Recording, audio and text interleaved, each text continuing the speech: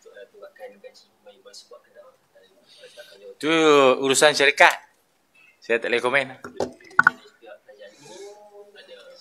dari masa tim di bawah KFA lagi saya sudah uh, membuat penegasan saya tidak akan gunakan duit kerajaan negeri untuk membuat bayaran gaji pada pemain. Sebab ni duit orang ramai.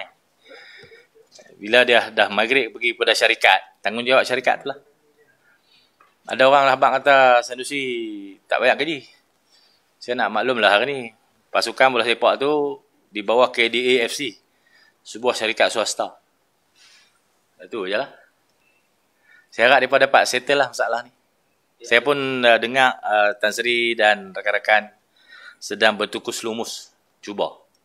Saya habang awal dulu lagi. Dia kata saya su- suka je gaduh. Siapa yang buat uh, setting sampai ke peringkat ni sekali.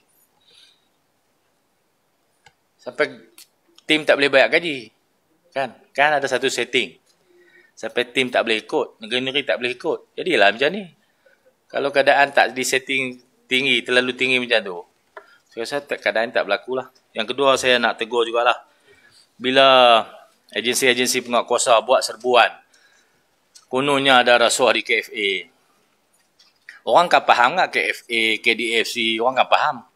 Orang tahu tim bola aja.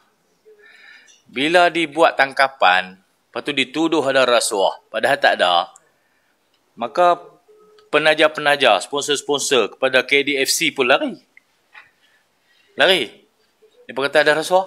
Pun kan tahu KFA, KDFC, KDAFC apa, pun kan tahu, pun tahu bola aja.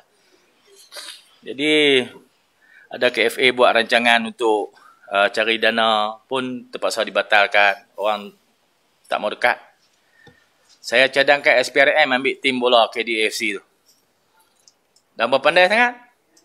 Pi siasat sana tuduh honu tangkap orang ni kan lah. Dah berpandai apa pi takbir pasukan bola tu. Hampa bayar gaji. Boleh tak? Bila kita buat elok-elok, saya pun dah ambil daripada 4 tahun dulu. Boleh settle masalah hutang. Boleh mula bayar gaji. Tahu-tahu pi duk kacau macam tu. Rosak habis semua. Lah, tak, tak boleh bayar gaji.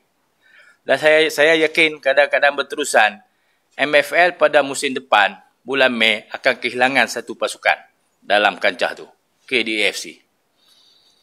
Pasal apa kacau? Sukan tak boleh kacau macam tu. Ni industri sukan. Orang duk bagi duit kat peserta bola ni tu 1924 lagi. Memang lagu tu lah orang bagi duit.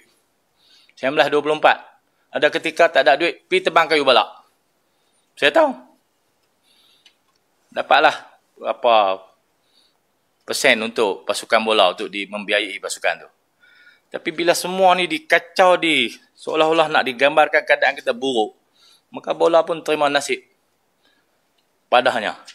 Ha, lah ni hampa ambil bola tu.